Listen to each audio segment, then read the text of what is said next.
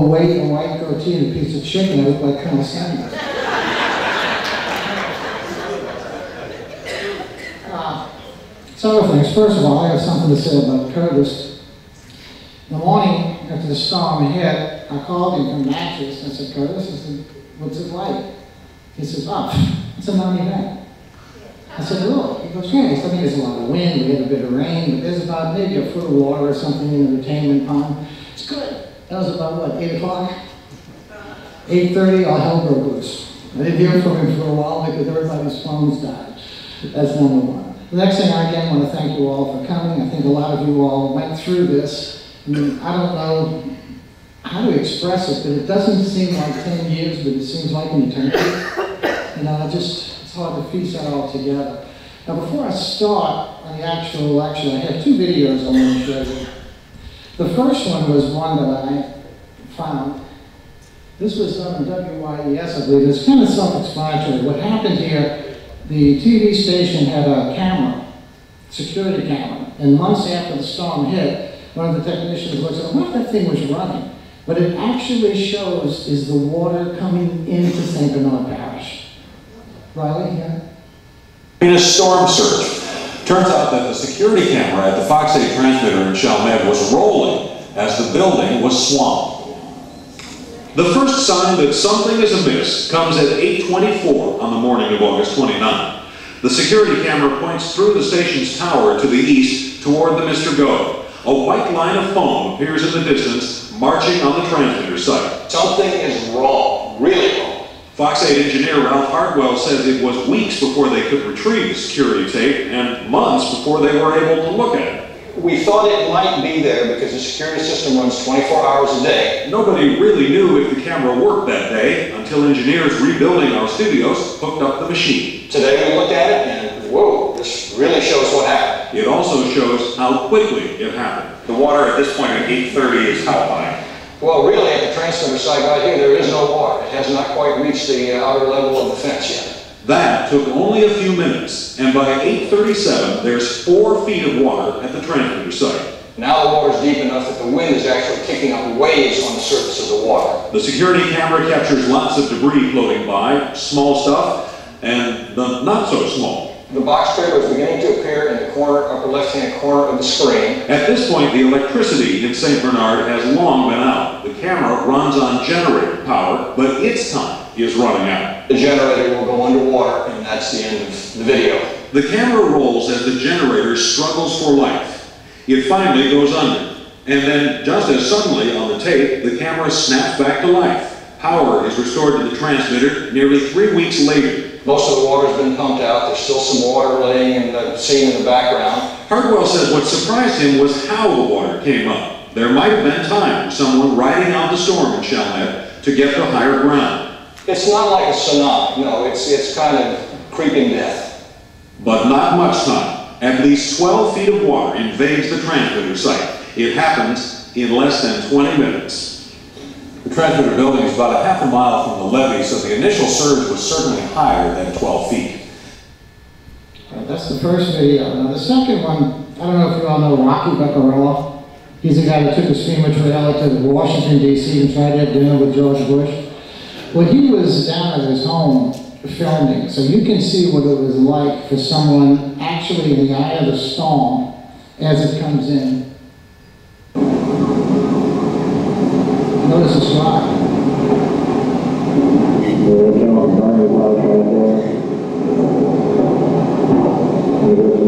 The sound is not good, so it's kind of awesome.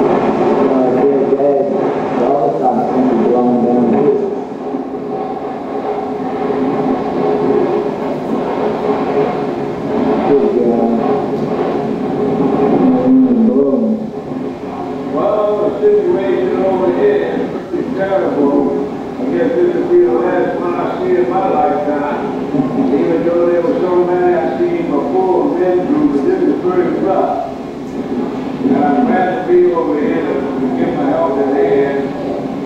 And with my knowledge and ability to put this situation back together. But this is a terrible situation. This is, uh, nineteen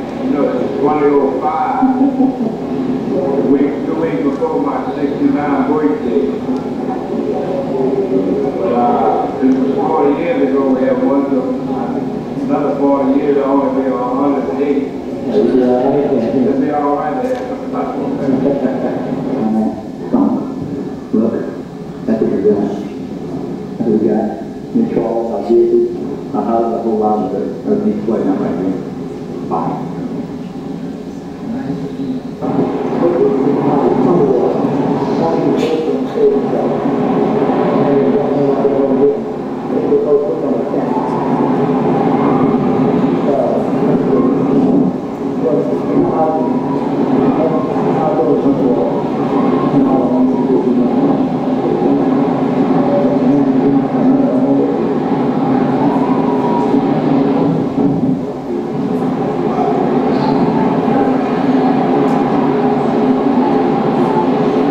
I think you're hooked on the fence.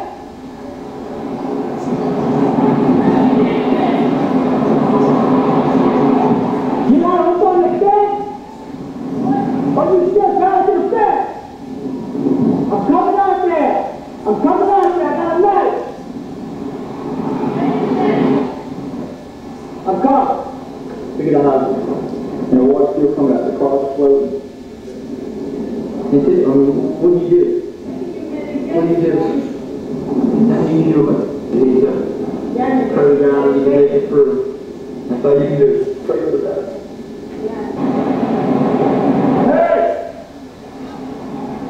Hey! Forget that, come on.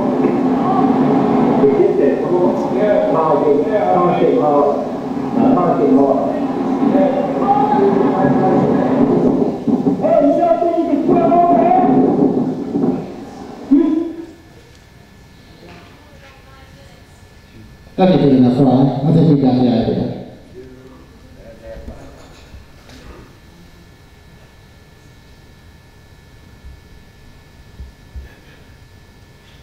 Okay, so I mean, it gives you an idea. Can you Imagine being on a roof with hundred plus mile an hour winds and what's going through your mind and everything you've got's underneath you and gone. We all have so many stories like that.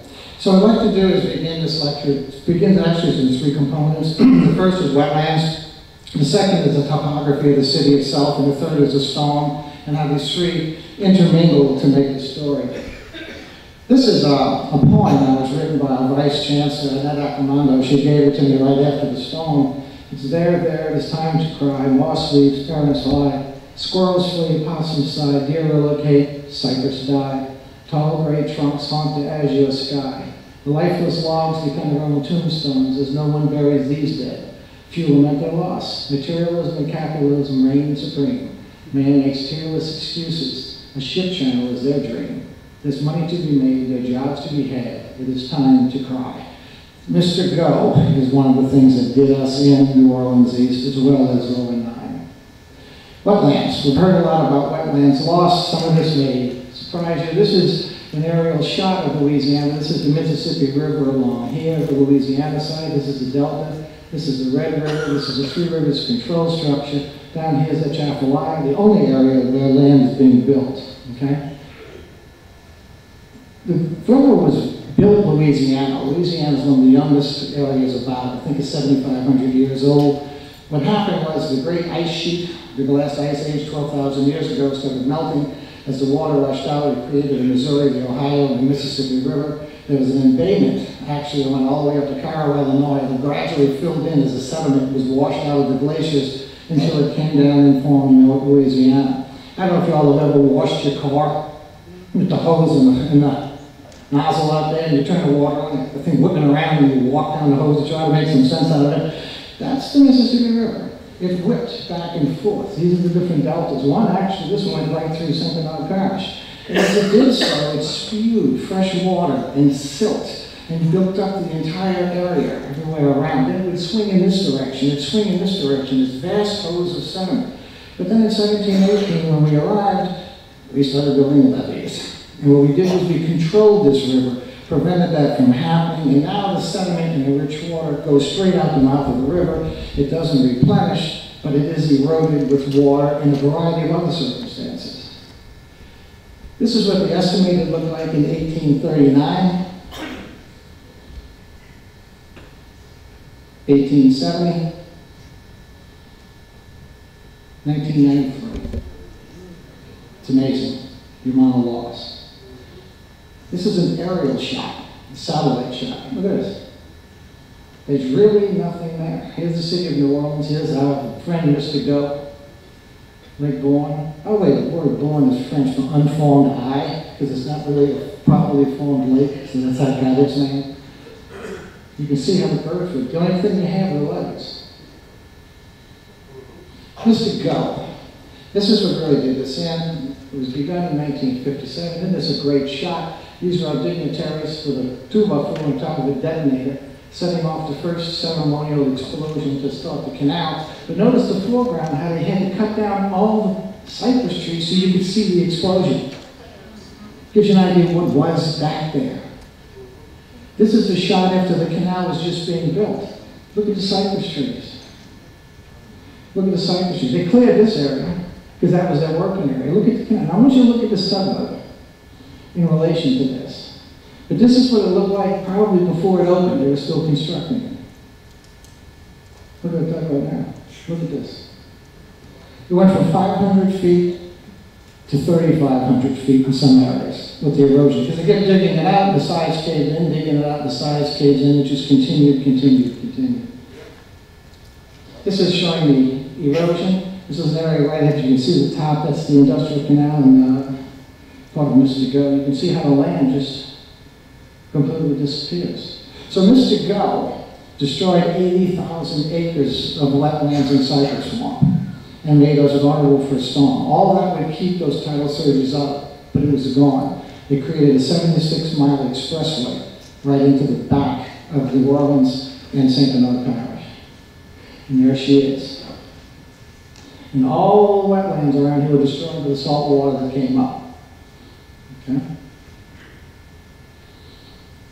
This is a close-in shot so you can see, look, the, the border of Lake doesn't even exist anymore. This is before the storm. All dead. Time portion of St. Bernard's interior wash is deteriorating at accelerating rate. Land loss along Mr. Go, 74 to 83, 397 acres a year. 83 to 90, 900, 374, 1990 to 2001, 1,157 acres per year. Three times, just a few years. Nobody knew I was occurring. Hello? Try salt water. but the Corps doesn't like to admit to things like that. They don't like to admit, admit they make errors. What we are seeing now is a marsh being lost at a rate that exceeds the international, the intentional digging of the canal. You couldn't intentionally dig it as quick as it was disappearing. Broadville, remember the Broadville? We saved 8,400 acres in 14 years. My trouble is you lost 201,000 acres in the same amount of time. God knows what it cost that. It's just the projects is just so big. What are you going to do? Hurricane Katrina, when it came through the Rio, we usually say we lose 25 square miles a year. And I remember I was with Richard Brown, who was a nervous person. He was getting a lot of information. He had a map posted on the wall, and I looked at it, and I said, Richard, this isn't for real, is it? He goes, yeah. It was the government estimate. We lose 25 square miles a year. Between Katrina and Rita, three weeks, we lost 214 square miles. It's five years, three weeks. There's a huge gap there. Yeah. This is what a healthy cypress swamp would look like. That's what it's supposed to be. Good beauty of it. Look at that. That's the way nature planned it. Look at the size of that tree. A friend of mine worked for the Boy Lumber Company. He had a picture in his office of three lumberjacks holding broad axes alongside of each other. The background was a cypress tree. Some of them were about 97 feet around. That's how big they were. But they were all harvested in the 1870s and 1880s after the Civil War. So we began destroying things very early. This is what it looked like to Mr. Go. You remember that? Not even these exist anymore because the wind and the tide took them down. Now it's just open water. But those were the tombs and that was referencing. But then we had other problems.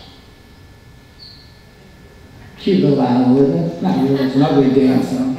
The theory about that's interesting. You always said, well, you know, the McIlhenny family had them when the storm came and washed them all out, and that's how they got loose. I don't believe that. Because I was down years ago in Delacroix Island working on soft shell crab tanks with a guy named Frank Lopez. He was an old fisherman who'd been down there forever. And we were talking about it. And I said, man, I just wish we could get it back. And he looked at me and said, you got no idea, son. He says, I used to hunt bear back here and deer. There were oak trees. He says, you know that nutria? He says, I was a young boy. I saw the state come out with flatboats and cages with males and females in the cages. They put them in the marsh as an alternative fur with no idea what they would do. They're from Argentina. This is more like it. They're eating stuff in Louisiana. You want to know what they do? This is taking and fencing in an area of marsh. That's what it looks like when the nutria going through.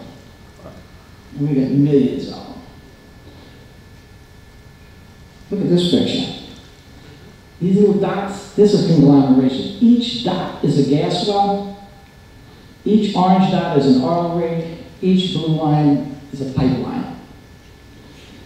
Shows you what we've done with oil production. What's sad, though, is that we get less royalties than any other state in the union. How's that possible? I thought we had a quote, federal government where everything should be the same. How is it that New Mexico gets so much more than we do? That's our problem. That's what's hurting us now because the price of oil is down to forty-seven dollars a barrel, and every dollar we drops, I think we lose 12, 14 million, maybe more than that in revenues. So that's what's hurting the state right now. But you can see how much production takes place there. Canals. These are the canals that they dug. And they were supposed to have dug them, this is 1945, and then filled them back in. That's when they're looking for oil and gas. But they never filled them back in because it costs money and nobody was making them do so. So over time, they added more canals. But because of these canals allowed salt water to come in, it killed the surrounding marsh. That's what you notice there's some suits, I believe, taking place through the uh, Lake Borgne Levee District in the southeast levee. That's what it's about all this destruction that was done by these canals. They want to try to get some mitigation to start building this back. Trouble is, how do you put it back? Nobody really knows. Because Mother Nature is an amazing little animal. And she does great things. We can't duplicate it. So, the levee system prevented the, the flow of the Mississippi River. It used to overflow its boundaries and flow everywhere. You read DeSoto's uh, records, he talks about being suddenly in a lake because he was there for the spring flood. The levees prevented that from happening, so the silt that replenished the land just through overflowing of the spring floods and the fresh water that came through is gone. But being levied, the move back and forth is gone. So all the mechanisms for building Louisiana are now gone. Navigation canals, like Mr. Go, have cut up, you know, the salt water came in and destroyed more. Oil canals contributed to it. Oil drilling causes subsidence. You can't take oil out of something and not have it subside. But the big thing is there's a general geological subsidence taking place on the plate we're in. That we can't fix. And that's what's causing a lot of the water to come in. Plus the storms that come through are washing away more and more each year, and there's less and less out there to be washed away. Local litigation, because when you try to come up with a plan to fix something, somebody has a reason for not getting it fixed, so they file suit, so everything is continually tied up in knots. We don't have any clarity of how to do it, and we have problems when we come up with an idea. And, of course, our little is the nutria. So you put this all in combination, you see how complex the problem is with our wetlands. Result, it's disappearing. Louisiana is slowly disappearing. Now, let's look at the topography of New Orleans, why New Orleans had so many problems. There's one idea. let's talk about water. Don't call it the Isle of Orleans for nothing. We live on a damn island. You know, there's no question about it. You got the Mississippi River here, Lake Borgne, Lake Pontchartrain, Lake Walpole, you got Iberville Canal, back the Mead River, it's called down, going back there. That's the definition of, around, of an island surrounded by water. And then they made St. Bernard a separate island and they cut the industrial canal, and they made it another island and they put the Violet Canal in. So we've carved ourselves into Venice. This is a great shot. A lot of people don't know this. In the early days when the storm came in, the floodwater came in, it just washed in and washed out. The white areas are high, the dark areas are low. There's not one bowl, there's a bunch of bowls. This is the Metairie Ridge from the old bayou. This is Gentilly Ridge here. from Bayou Chaponto. And the rivers, the the Mississippi River, they would overflow the bayou. So the highest ground was actually on the bayou, and it was open back here. So the water could leave the city and go back. But then in the 1920s, they built a seawall system out in the lake with the airport. And they went out there and they dredged sand and they built it up. Then in 1922, they built the industrial canal to connect the Mississippi River. Okay? So now when water came in, you can't get it out. You gotta pump it out. And then since people were moving into these dark areas here, they started pumping anyway to take the water out because it was all marshy. And it's like taking the water out of a wet sponge. It sinks. So the land was sinking more and more and more. So you see the effects. Here's your canals right through here. This is the old basin canal. This is showing the elevations here in the water, so you can see one feet, two feet, zero feet. When you get some of these areas over here, you're four to eight feet below sea level. So if you want to know, find the address and you know how bad off you are. This is a great graphic. But this is an elevation graph. You see one, two, three, four, five, six, and seven. You take the line one and you look up here. And this is the elevations at that line, each one. Look at that. This is the Mississippi River. This is the lake. Now you see not the bowl, but the bowls. All these dips. All these dips. Because this is filled up to the levees, remember? So that's the amount of water that the city is vulnerable to. This is the industrial canal. Right here, that's how high that is. That's why that's always been a barrier that protected the city of New Orleans from the chaos of lower ninth ward, New Orleans East, and say, no, you know. That's why some argue they do the levee in Betsy, right? To protect the city. We don't know if that's true or not, but it's part of our tradition and lore. So why not hang on to it? This is a scary scenario. This is a photograph. And this is taking the same thing and just showing those elevations one foot above sea level. Nah, that should keep you awake at night. We don't have delta. We're in a bad way. Hurricanes. Now we're getting into the meat of the story. These are some of the past hurricanes. This is Betsy. Remember Betsy? Made a 360. Everybody, oh, look, it's going out to East Coast. Oh, it's going out to sea. Oh, it's going south to Caribbean. Oh, God. Kiss Miami, we were right across in the backstop clock, 1965. This shows the storms, but this really isn't up to it. I went down to the, if you open up, and go to the internet, you go to the severe storms, and you can go through every hurricane tracking from, from 1890. I just took them from 1965 to 2004. Now, 2005, when I first did the lecture on this, what Curtis was saying, because I was panicked, the year before the storm. 38 storms headed right for New Orleans and veered. I remember telling my wife more, I said, you know, I got a bad shoulder from high school wrestling. If you give me 38 baseballs, I'll accidentally throw a strike. So it's not if, it's when. It's gonna happen, and when it happens, it's not gonna be pretty. That's why I brought out some Magic. I had a place to go, man. I spent, I've been in um, a Pakistani motel in the door of Arkansas. No. Once you do that. This here are the charts that we're talking about with Curtis. This is from the Corps of Engineers. This was done before the storm, one year before the storm.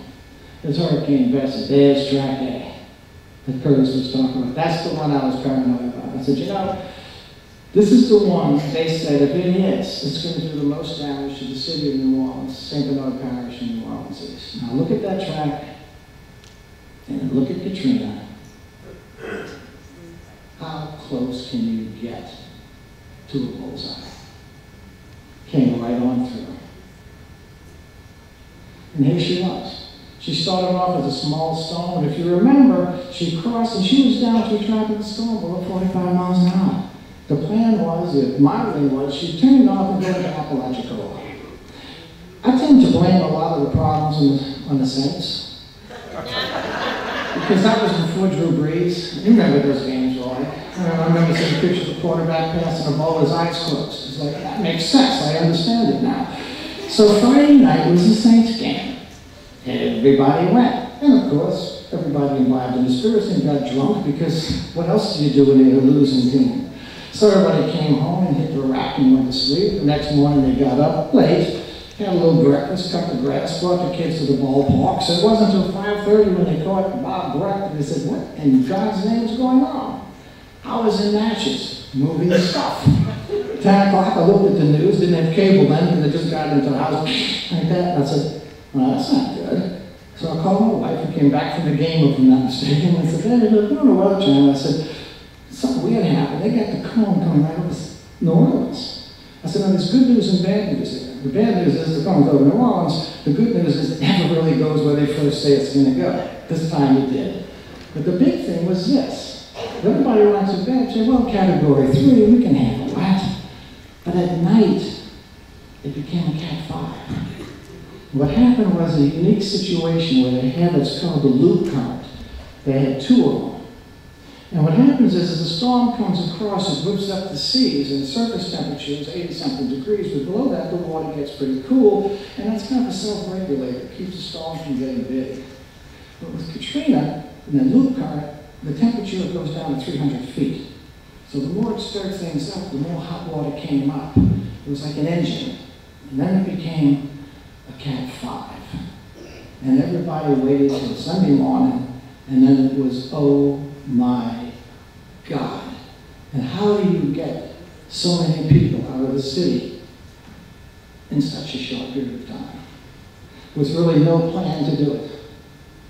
And that's what happened. I remember seeing this picture. and I told my wife, I said, you know, that's absolutely beautiful. It really is. It's a wonder of nature. It's a buzzsaw laying on its side and it carves right through our hearts and destroy everything in front of it. And it did. Look at the size of this thing. This is Tennessee. This is the Yucatan.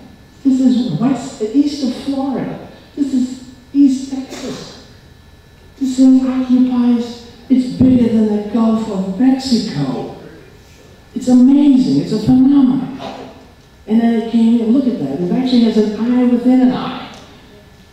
Was insane. These are different pictures. As she spun and she started coming in. It is beautiful when you look at it from a meteorological perspective. It's, you know, it is a classic photograph of what a hurricane, a massive hurricane would be. And this is when we got it. Because we did good. Like we called Curtis probably right before it crossed. Not that. But when it crossed here and the north wind came in, it pushed all that water against the levee systems. Mr. Go. 1965 Hurricane Betsy came through. At that time, I had my favorite car, which I still, have. 1958 Chevy Impala 348 black with a white top. It's 1965 Super Sport hubcaps. And they would beat on the door and said, get your cars out of here because the London Avenue Canal broke. So we jumped in our cars and we fled. Well, that wasn't true. And that was perhaps one of the greatest quotes of a politician I ever heard when Vic Schiro in his Ranger Coat and civil defense cap said, don't believe any false rumors you hear from me. Think about that a second. But they planned to put gates at the head of the outfall canals in 1965, and they didn't do it. And 35 years later, when Katrina's north wind came in, all that water went up those canals so the levees couldn't take it anymore, and the levees breached. And with us, the levees collapsed. This is another view of coming in. Look at the impact. These are the barrier islands. That's before, that's after. Before, the arrow shows what's left. After. This is, this is July. This is August. Isn't that beautiful? Used to go fishing out there. Charles remembers that, right? Sit down surf fishing. Try that now. No. Look how beautiful it is. Nothing. And nothing's been done to rebuild it because the EPA says you can't do that because you're messing with nature. I think nature messed with us a little bit here. And barrier islands play an important role because they keep down the tidal currents from coming in. That's why they call barrier islands. This is the world. This is what happened. This is the 17th Street Canal break. Remember that couple before the storm kept saying, my backyard's wet. I got salt water. Oh, no, no, no, no, no. That's, that, that's rain. It don't rain salt water. That's salt water. Where did break? The guy's backyard. That's what he said. Right here's the London Avenue Canal. Well, Vic was wrong the first time, but he was right the second time. And then, of course, here we've got the industrial canal levee, and here's where it broke by us, coming in. So talking to Brian Bertucci, he said he remembers at the hospital, the water came from the ninth floor first, and the next thing, all the debris that passed in front of him going this way was going the other way at a faster pace, as the water breached over Mr. Go and came flooding in. So we've got a, a left and a right. This is showing the depth on the second. So the tidal surge that you saw in the film with Vaccarella to the top of the roofs, once that surge came in, it washed out and the water stayed. This is the standing water showing how much water. You've lost an entire city. It amazes me to this day as you drive around, no matter where you go in New Orleans, it was under eight feet of water, 10 feet of water. What we've done in putting the city back together is absolutely phenomenal. We're kind of like ants. You know, you mess up an ant pile and two days later it's all back again. We're pretty industrious. This is the break at the 17th Street Canal. This is after they dropped all those sandbags on it. Tried to put this poor guy's house. The guy kept saying, "I'm not here." No, he's gone. Guess I solved that problem. Here's a break from the aerial shot. So, so that's when it breached. And once it came in, it started flowing. Tom Spicchiano said that they sent riders and bicycles down there, and so did the on the water to bicycle back, and it was almost beating them back to the station. This is the uh, industrial canal bridge. I find this interesting. I don't know, it must have broken. I don't know why. Uh, you see that barge there? You think that might have had something to do with it? I remember talking to an old black man in the ninth ward right after the storm, he said, you know, it was about 6 o'clock in the morning, I heard this tremendous bang. He says, the next thing, the water came in. And then he started crying. He said, you know, I saw mom was holding their babies dead floating in front of my house. You know, I really believe that's why it broke, it was rammed. That was an unsecured barge. This is the water coming back out after the surge. This is Brad Pitt's area. I call it Dr. Seuss land. That's weird. No offense to Brad. I appreciate the fact that he, he did what he did. Come on, I mean, really? This is the water in the city at the time. Look how close it is. Thankfully, my daughter was here in the bottom water. She only had uh, 18 inches of water in the street for an hour. Because the higher, the closer you get to the river, the higher the land is. We know that, that, is not. If there's a heavy rain, do you take Judge Perez? No. You take the highway. Why? Because you're going to lose your car if you take Judge Perez. So, but look at that, an entire city on the water. And here's St. Bernard Parish. This is a map of all the levee breaches. Breaches are in red, top is moderate. The levee's gone. I remember talking to Bob Turner from the uh, Lake Borgne Levee District at the time. He said, I know what helicopters, you know, a kid takes a handful of mud and throws it, and you see it splatter. He says, that's what that looked like. He says, the levees were just knocked down and splattered, and the water just pulled it in all the way around. The whole levee system. These are the breaches in the industrial canal. That's what got us. Then this is the back levee system that went down as well. This is the amount of water that was in the parish on the 31st, two days later. So the tidal surge is gone, but you can still see, this is a little high area here, this is Paris Road, but you can see the amount of water still in the entire parish. This is New Orleans East. And that's what she looked like. A little blurry, but that's it. Charles was here, right, Charles? I remember calling, talking to Jeffrey, his son, he was on top of the roof. And I called on cell phone and said, Jeffrey, what's it like? He goes, Uncle Ron, it's Lake Chalmette. I said, what? This is during the tidal surge. He said, the only thing sticking out of the water is the second story peaks of houses and the tops of trees. It's down Lake Chalmette. Amazing. This is Lacoste School. This is the standing water. You can see how high it is. See the water lines. And they have a water line, that's after the surge. Because the surge is not really gonna leave a water line, it comes in and goes out too quick. It's gonna sit, then it's gonna go down, so you have a series of water lines. It's like the reverse of watching a child grow. Remember the boats in people's yards? Say, God, how do you get rid of that? I don't know. This is, you know, a village square. Absolutely amazing. You can go duck hunting up there because you got your own blind.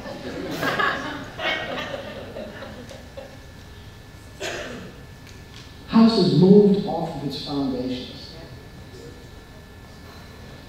That's my shop. This sadly is a 30-foot catch I was working on, and it caught it. It was crushed. But look at the mud and oil, because I was in the oil zone. That's my neighbor's house. That's my house, Christmas, a couple of years before. And actually, it didn't sustain that much physical damage. I was surprised these two awnings stayed. The rest of it was gone. I want to talk about the inside. that was the house. This is past, I see all the water, this is the oil line on the house. You see, I had plywood and screwed everything in. 9/11, really? That's what it was. I don't know if y'all remember that, some of y'all going around, they put an X on the door. 9/11 is the date they got there, this is the number of dead people they found, this is the number of live people they found, and this is the people who did the designation. Every house, as they cleared the house, they put that mark on it. They passed my house 9/11. That's the inside, you can see the water line, it's about six feet, my house is four feet off the ground. So that's ten feet of water to the slab, but then that's about three feet to the slope to the street. So you had enough water in front of my house to probably do the thirty meter Olympic high platform dive. It's just kind of hard to wrap your brain around. Who is that? A lovely bride, all dressed up and ready to go and got a house. Remember that? Rubber boots, rubber gloves, Tyvek suit, masks. You'd store them up. I'm gonna pay for that one, huh? Yeah. Had to. Had to. That's the inside of the house. It's like cracking it open. You know, well, that's a rotten egg. I think that picture sums it up in so many ways. This little soaking teddy bear and everything destroyed around him. It's a beautiful shot. Then we have the Murphy oil spill.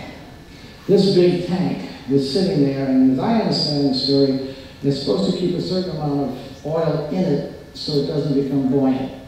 And what happened was it didn't do that, so it became buoyant. As the floodwaters came, I think it's whistling, as the floodwaters came in, it rose up. But the compound thing, someone left a piece of heavy equipment down, so when it came down, it landed on it, breached the side of it. 25,000 gallons. 1,050,000 gallons of oil was spilled on top of the flood water. Know, put oil in water, it spreads. It spread everything below Parish Road.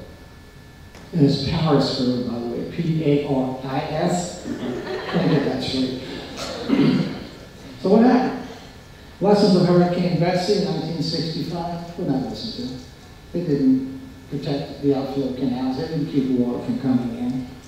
No floodgates were erected anywhere around. Levees along Mystica were not raised. I was trying to find it, I can't. I remember I had a, it's called a profile map, a flood, a levee profile map. Would say it's, you got 13, no, 14.75 foot levee out there. Then they actually measured it.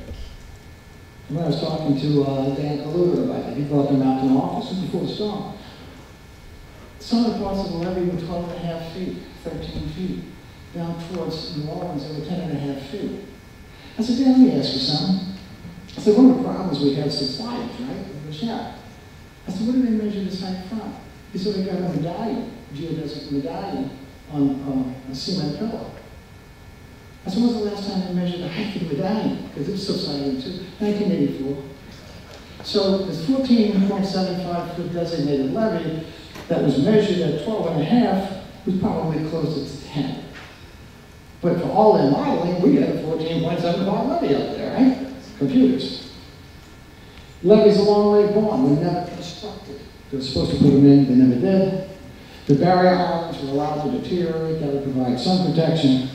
And the federal government, I remember we had them here before the storm, where I got some of the slides, I said, why don't you build Cat five levee? He said, do you realize that might cost ten billion dollars?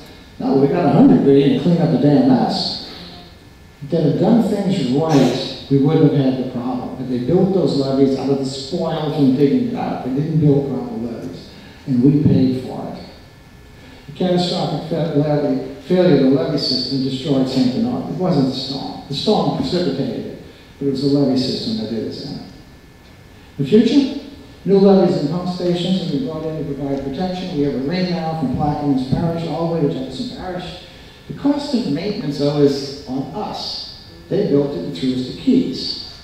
I remember when they were here, and they were dedicated, right here on the stage here, had guys from the Corps of Engineers, and I said, oh, you know, we have of some problem with subsidence. He says, yeah.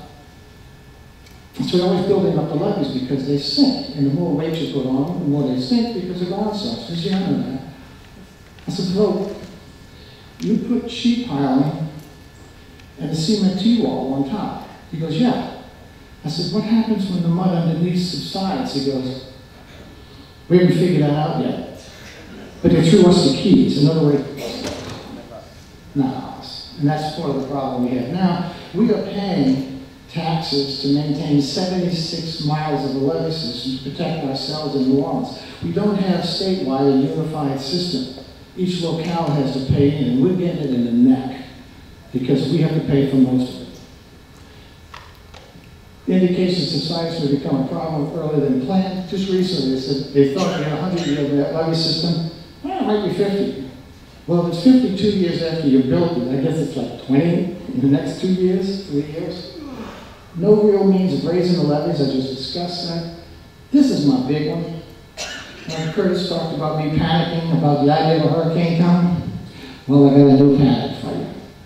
They don't have any holes in the levee. Think about that. Why do we build levees on the Mississippi River? To keep the water in, right? You're a tourist. You're sitting in the, in the city, and you look up, and I love to see that in the French Quarter, and they see a ship passing, and they stare at it, because they realize they're looking up at a ship. Wait a minute, what's keeping that river back? Oh, Pile of mud? Really? I think it's time for me to check out. We're stuck here. What happens if that high water, a ship hits that levee and it crevasses and the water comes in? That levee system that surrounds us is going to keep the water in. That levee system is 25 feet high. And a crevasse like that, it'll fill the entire levee system up with water probably within a day or two. And you're not going to stop the water because you can't stop the Mississippi River. It's not like a storm surge that's going to come in and go out. It's coming down, baby. It's the Ohio, it's the Missouri, it's the Mississippi, it's the Red, it's the Arkansas, it's the Tennessee. The entire floodway is working its way down here. And nobody's thinking about what happens if the bright field, instead of hitting the, uh, it? Uh, like all the malls out there, had hit a bare levee and breached it. That's something to think about the Mississippi River. That's the threat to the back. And finally, this is our flood elevation map today. This is what we pay our flood insurance on. And this is the levee system that surrounds it. This is what we have to worry about, is this ring here is what's going to hold the water in in the event of a breach of the Mississippi River levee, where it protects us from water coming from every other direction. The Corps thinks of fighting last year's problems. That's it. Thank you so much.